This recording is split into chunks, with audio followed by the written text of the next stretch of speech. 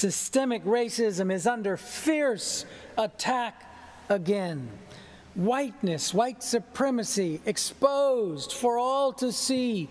Good news. The federal minimum wage will be raised. That's good news. Science is not our enemy. Good news. The children of DACA are safe from deportation and on a path toward full citizenship. Good news.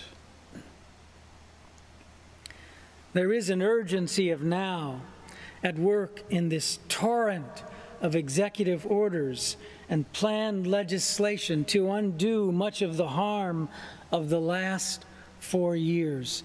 This is all good news.